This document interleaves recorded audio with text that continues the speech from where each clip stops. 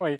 Euh, dernière image, tenez, au Stade Bollard, la victoire ce soir, on vous le rappelle, de l'OM 2-0. La joie euh, de Pablo Longoria dans les couloirs de, de Bollard avec euh, ses joueurs, avec Cengiz Under, avec Chaleta Tsar. C'est un président très démonstratif, euh, Christophe. Ça, c'est bon et c'est mauvais côté. Là, en l'occurrence, c'est des bons côtés. Voilà, pour les joueurs, après, c'est bien euh, voilà, de voir un président concerné, euh, de sentir qu'il est derrière vous et qu'il vient vous féliciter.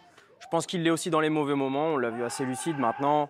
Voilà, c'est un président. Il y a aussi des moments où il faut savoir rester tranquille. Mais bon, voilà, c'est des images qui, qui changent un petit peu. Ça fait du bien.